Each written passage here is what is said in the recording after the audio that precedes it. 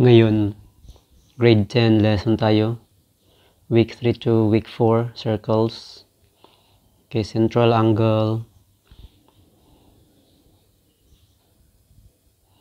Central angle, intercepted arc. Dito meron tayong uh, example. Okay.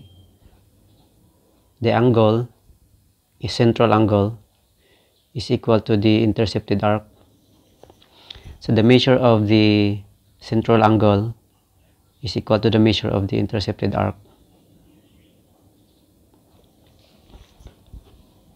So gamitin natin ito ang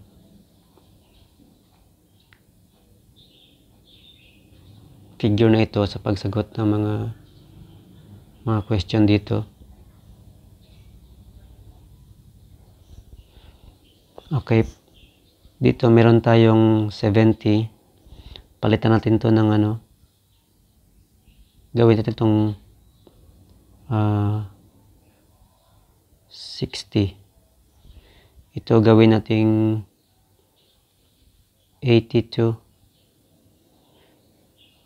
Ito gawin nating 78.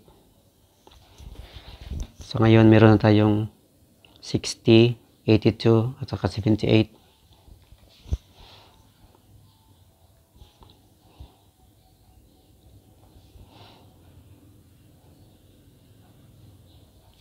So itong figure na ito gamitin natin dito.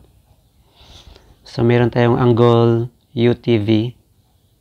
This angle UTV. Okay, pinalitan natin to 60 degrees. Ngayon ito, angle VTY, the measure of angle VTY, measure of angle VTY is equal to VTY. So this is VTY. So this is 82. Okay, ngayon ang angle, ah, this is arc YZ. Arc YZ. So this arc YZ is equal to 78.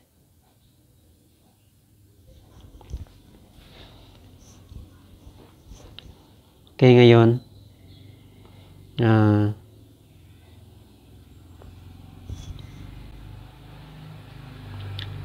number one, measure of angle UV. So, I know, arc UV. Arc UV. So, this is equal to the measure of the central angle. So, this is 60. Okay, 60.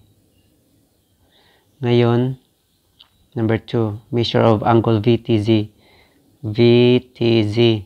So this angle VTZ, straight line. So straight line is equal to 180.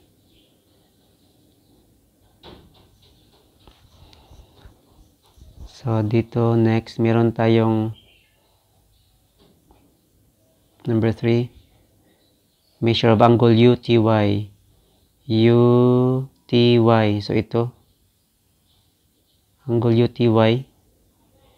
So, angle UTY is, uh, okay, ngayon, kailangan ito hanapin.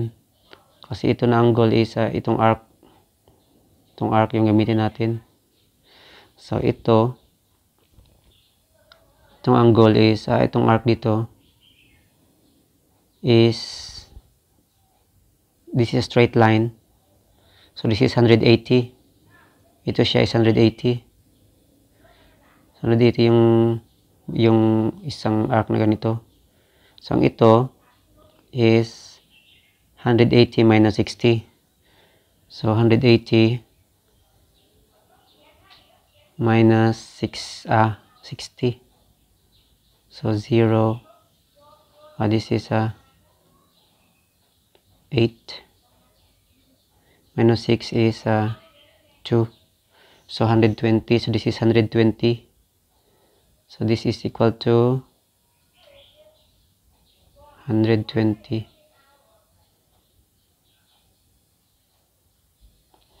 okay ngayon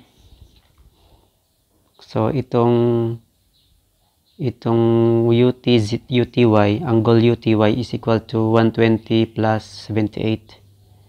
So 120 plus 78. So 8, 9. So this is 198. So 198 degrees. So ngayon meron tayong 198 degrees. So this is 198 degrees. Ito siya. Ang arc. So this is 198 degrees yung angle. Angle UTY. Next, number 4. Arc VY. So arc VY, ito. Arc VY is equal to this central angle. So 82. Ngayon, measure of angle UTZ. UTZ.